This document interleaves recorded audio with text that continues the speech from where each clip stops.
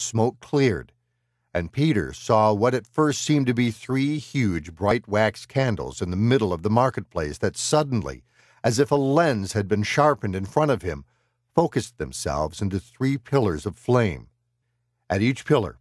a tall wooden shaft was surrounded at the base with bales of hay and dry twigs burning furiously, and there was something tied to each of those shafts, something black and greasy and silent as the night, something that the flames licked at languidly, having spent their energy, and now contenting themselves with the twigs and hay at this sooty dead thing's feet. Each black figure had its mouth open in a final hell wrenching scream.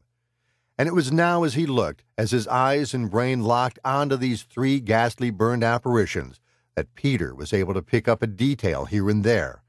a wisp of his mother's frock turning in the flame, his father's working pants with their characteristic bagginess, his grandmother's shawl thrown around her head, still held proudly high. Each was tied from behind, each had suffered unimaginably.